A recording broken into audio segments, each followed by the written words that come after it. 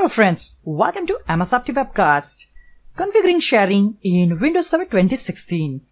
The creation and configuration of file shares has long been a core part of network administration. Most administrators are aware that you can create a share folders from within the file explorer.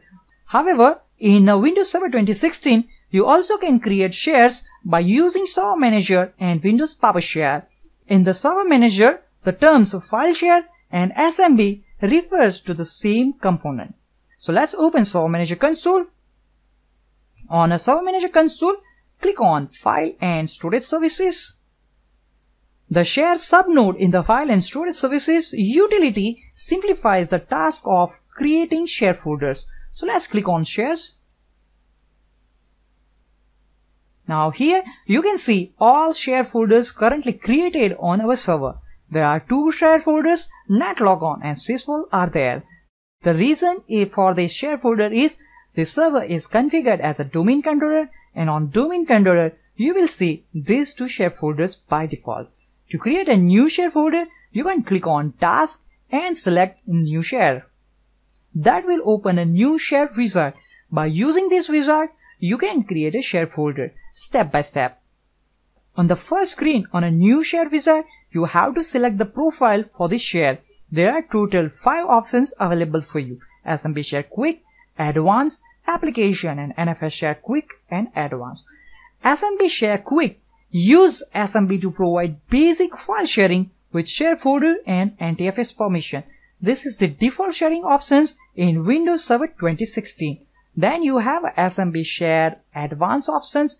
This adds access to services provided by File Server Resource Manager to the basic SMB sharing protocol, including configuration of folder owners for access denied assistance, default classification of data, and enabling of quotas. To use this share profile, first of all, you have to install File Server Resource Manager feature. Third one is SMB Share application. This profile enables sharing settings used by Hyper-V certain database, and many other applications. Fourth one is NFS Share Quick. As already mentioned, NFS is a file sharing protocol used when sharing files with a Unix server. These options include basic sharing permission. To use this share profile, you have to install NFS server role. And the last one is NFS Share Advanced.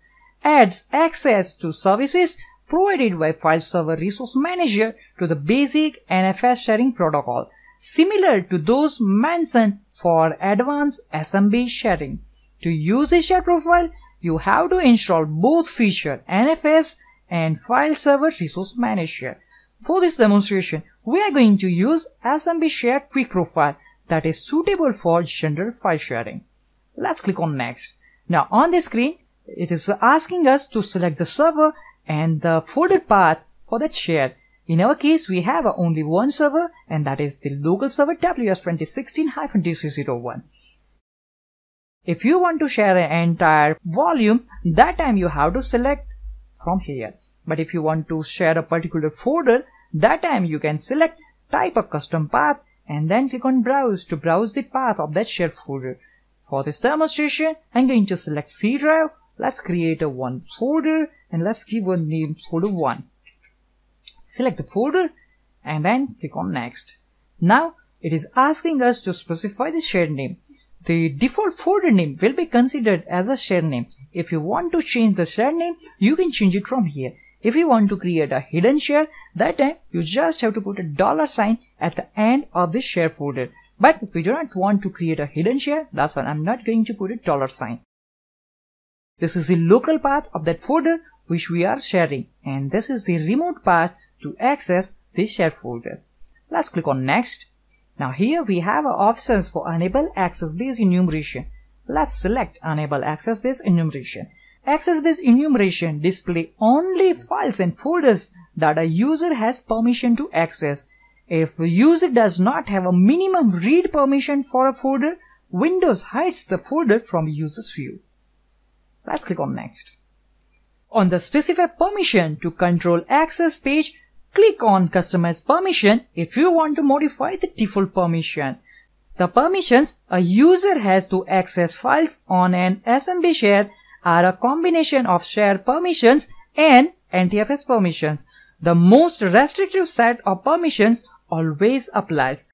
For this demonstration, we are going to use the default NTFS permission and that's why I'm not going to customize it. But if you want to assign a specific permission, you can customize permission by clicking on customize permission and from the same menu which we see in file explorer. Let's click on OK. Let's click on next. Now review your selection and once you are happy with that, click on create to create a share.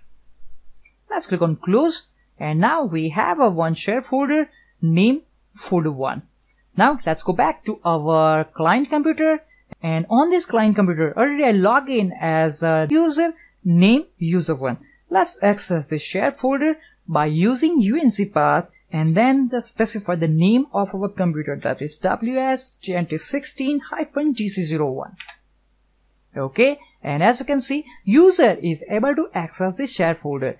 Let's open folder 1 and let's try to create a new folder and specify name data so here you can see user is able to access the share folder from their client computer and also able to store data under that share folder. So this is the way how you can configure sharing in Windows Server 2016 using Server Manager Console. That's the end of this video tutorial. Thank you for watching this video.